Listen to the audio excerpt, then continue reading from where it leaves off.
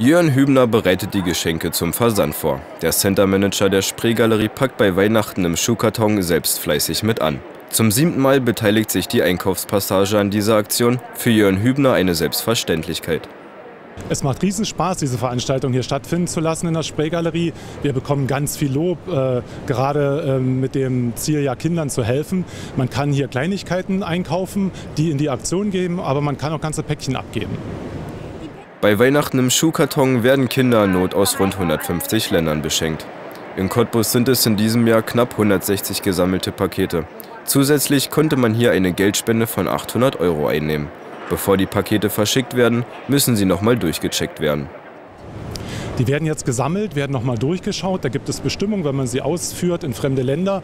Äh, und dann ist es, glaube ich, eine kirchliche Organisation, die sie in die europäischen Länder äh, fährt und dann auch an die Kinder verteilt. Die Spreegalerie ist nicht die einzige Annahmestelle für Schuhkartons. Es gibt im deutschsprachigen Raum noch über 5000 weitere. Seit 1993 wurden über 130 Millionen Kinder beschenkt. Für die Zukunft hofft man auf weitere fleißige Helfer, damit die Kinder ein fröhliches Weihnachten haben.